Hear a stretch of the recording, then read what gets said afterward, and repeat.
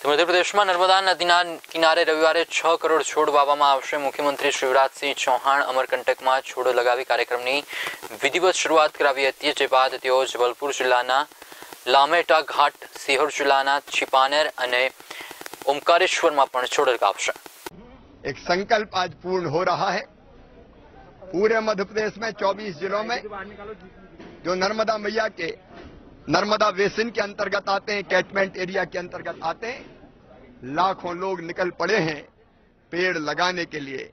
समाज के हर वर्ग के लोग अलग अलग संस्थाओं के लोग, शासकीय गैर शासकीय, नौजवान बेटे, बेटियाँ, बुज़ुर्ग, माताएँ, बहनें, किसान, गरीब, मजदूर, मीडिया के मित्र, सब इस महाभियान में जुड़ गए हैं।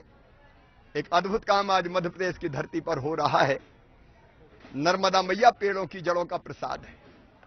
मध्य प्रदेश की जीवन रेखा है। वो कल कल छल छल करके अविरल बहती रहे। इसके लिए ज़रूरी है कि उनके बेसिन में, कैचमेंट एरिया में व्यापक पैमाने पर वृक्ष रहे।